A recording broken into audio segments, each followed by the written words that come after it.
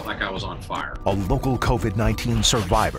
28 minutes after I got there, they had me intubated. What he wants you to know now, Monday.